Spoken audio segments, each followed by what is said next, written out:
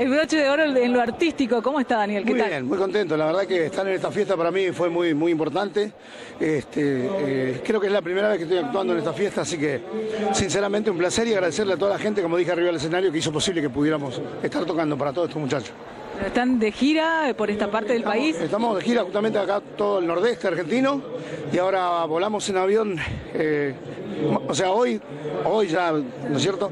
Eh, tocamos la Peña de los Saloncitos, volamos en avión, tocamos en Buenos Aires, el miércoles hacemos cuatro shows, volvemos en avión y nos vamos a Formosa y Barreta y ahí arrancamos todo nuestro show de vuelta por todo el nordeste porque nos quedan algo de 12, 13 shows más todavía en, es constante el movimiento y el, viaje constante. Nos estamos yendo a Europa en el 6 de agosto, salimos y volvemos el 14, 15 de septiembre porque nos vamos a Europa y ahí pasamos a Estados Unidos y México, así que estamos muy contentos. Bueno, realizando, conociendo eh, distintas partes, llevando de distintas partes del mundo la, música. Si bien nosotros estuvimos en Europa ya hace 8 años más o menos, volvemos nuevamente ahora y lo que sí vamos a hacer es llevar nuestra música de hace tantos años que quieren que vayamos a Estados Unidos y a México y no, por una cosa o por otra nunca pudimos.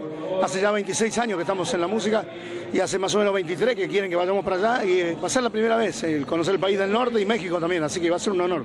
Hemos visto que presentó a un cantante también en el escenario. Mi hijo, mi hijo, el cantante de la Winner Band, así que búsquenlo en internet, la Winner Band con doble L, con doble N, perdón, eh, Alexi Cardoso se llama. Así ¿Lo acompaña en todos los, en la gira también? En toda la gira, sí, totalmente. Los voy, lo voy presentando, cosa de que después ya arme su camino el solo.